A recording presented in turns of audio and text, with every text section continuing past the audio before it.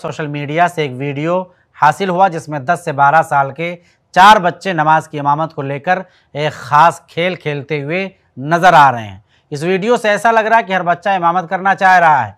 इस वीडियो में खेल में जीत हासिल करने वाले लड़के ने नमाज़ के लिए इमामत शुरू की। इस वीडियो को देखने के बाद ये मालूम होता है कि इन बच्चों में अल्लाह की इबादत को लेकर बहुत ज़्यादा शौक़ और जज्बा है और आगे बढ़कर इमामत भी करने की चाहत है। हमें हमेशा अल्लाह से दुआ करते रहना चाहिए कि हमारे औलाद और बच्चों को भी दीन का जज्बा और शौक़ रखने वाला बनाए। और ख़ास कर हमारी हर दुआ में, कुरान की आयतों में, औलाद के लिए जो मशहूर दुआएँ हैं, उनको अपनी दुआओं में ज़रूर पढ़ते रहना चाहिए। जैसे, रब्बी हबली मिनसालहीन ऐसे ही और वीडियोस बनाने में हमारी मदद करें।